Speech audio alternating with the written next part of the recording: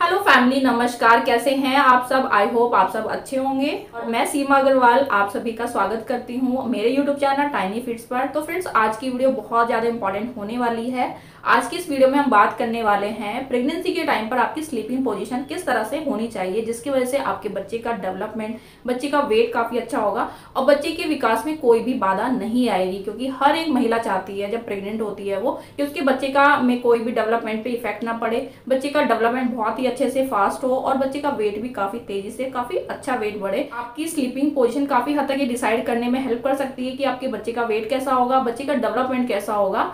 तो ये वीडियो बहुत ही ज़्यादा हेल्पफुल है फ्रेंड्स ज़रूर देखना अगर आप प्रेग्नेंट है. प्रेगनेंसी में स्लीपिंग पोजिशन किस तरह से होनी चाहिए? क्या गलतियाँ आप कर जाती हैं जिसकी वजह से बच्चे का विकास सही से नहीं हो पाता? बहुत बार मिसकैरेज भी हो जाते हैं. तो वीडियो लास्ट तक देखिएगा फ्रेंड्स वीडियो अच्छी लगे तो वीडियो को लाइक कर देना. चैनल सब्सक्राइब नहीं किया तो प्लीज़ चैनल भी सब्सक्राइब कर लीजिएगा. साथ ही साथ आप मुझे फेसबुक इंस्टाग्राम पर भी ज़रूर फॉलो करिएगा. मैं लिंक आपको डिस्क्रिप्शन में दे दूँगी. तो चलिए बढ़ते हैं वीडियो की तरफ़. फ्रेंड जब एक महिला प्रेग्नेंट होती है तो उसके मन में सवाल ज़रूर सताता है चिंता भी लगी रहती है कि मेरे बच्चे का विकास अच्छे से होना चाहिए और बच्ची का डेवलपमेंट भी सही से होना चाहिए और बच्चे का वेट अच्छे से हो। हर महिला चाहती है कि मेरा बच्चा जो है ना हेल्दी इस दुनिया में आए। तो यहाँ पर आपकी स्लीपिंग पोजिशन काफ़ी हद तक हेल्प कर सकती है बच्चे के विकास और बच्चे के वेट बढ़ाने में। तो आपको किन किन गलतियों को बिल्कुल नहीं करना है प्रेगनेंसी में। अगर आप ये गलतियाँ कर रहे हैं तो आपको आज ही ये बंद कर देनी चाहिए। अगर आप मेरी वीडियो देख रहे हैं तो वीडियो को पूरा देखिएगा फ्रेंड्स तो आपको बहुत ही ज़्यादा हेल्प मिलने वाली है।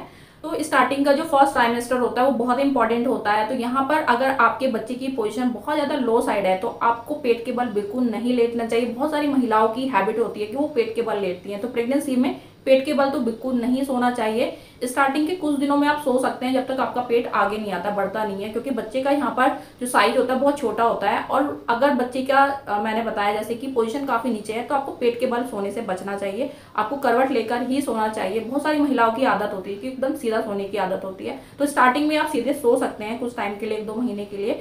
बट आपको सीधे सोने की वजह से आप कमर के दर्द की शिकायत हो सकती है। और आपकी जो पूरी बॉडी का भार है, वो धीरे धीरे आपके पेट पर और आपकी रीढ़ की हड्डी पर आता है जिसकी वजह से आपको पेन की प्रॉब्लम रह सकती है और अगर आपके पेट पे भार पड़ेगा तो देखिए बच्चे के विकास और बच्चे की डेवलपमेंट पे बहुत ही बुरा इफ़ेक्ट पड़ता है तो इस पोजीशन से भी आपको बचना चाहिए। अब आगे बात करते हैं सेकेंड और थर्ड ट्राइमेस्टर की तो देखिए सेकेंड ट्राइमेस्टर में आपका पेट धीरे धीरे बाहर आने लगता है तो जिसकी वजह से आपको पेट के बल तो बिल्कुल नहीं लेटना चाहिए। भले ही आपके बच्चे की पोजीशन ऊपर की तरफ़ हो मतलब आपको पेट के बल बिल्कुल नहीं सोना चाहिए प्रेगनेंसी में, क्योंकि इसकी वजह से आपके पेट पे जब दबाव पड़ेगा तो बच्चे को घूमने के लिए स्पेस नहीं मिलेगा और बच्चे का विकास और बच्चे को ऑक्सीजन और जो ब्लड सेल्स जानी चाहिए बच्चे को, वो नहीं मिल पाती है।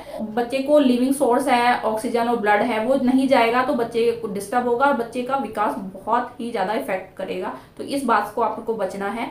प्रेगनेंसी से लेकर नौ महीने तक जिस पोजीशन में सोना चाहिए, वो बहुत ही बेस्ट है। इसमें कोई भी बैड इफ़ेक्ट नहीं है। आपको ज़्यादातर बाई करवट लेकर ही सोना चाहिए। बाई करवट सोने की वजह से आपके जो बच्चेदानी में है, उसमें ब्लड फ्लो अच्छे से जाता है। तो ब्लड फ्लो जब ज़्यादा रहेगा तो बच्चे को भी अच्छे से ब्लड फ्लो जाएगा और ऑक्सीजन लेवल अच्छा रहेगा और बच्चे को जो न्यूट्रिशन आपने खाया है, वो भी बच्चे को अच्छे से जाएगा। तो बच्चे का विकास बहुत ही अच्छा होगा, बच्चे का वेट भी तेज़ी से बढ़ेगा और बच्चे को घूमने के लिए भी स्पेस काफ़ी अच्छा रहेगा। तो जब सारी चीज़ें अच्छी है तो बच्चे का विकास और बच्चे की डेवलपमेंट तो काफ़ी अच्छी रहेगी। तो इस बात का आपको ध्यान रखना है। ज़्यादातर आपको प्रेगनेंसी के टाइम पर लेफ़्ट करवट लेकर ही सोना है। सारी महिला की यहाँ पे क्वेरी हो सकती है कि क्या पूरे एक ही कॉन्सेंट एक ही पोजिशन में सोना इम्पॉसिबल है? बहुत सारी महिला को रात में नींद नहीं आती है तो वो कहते हैं कि एक ही पोजिशन में हम कैसे सो सकते हैं? और बहुत सारी महिलाओं के मन में ये भी सवाल आ रहा होगा कि हम सोते एक पोजीशन में रात में हमारी पोजीशन चेंज हो जाती है।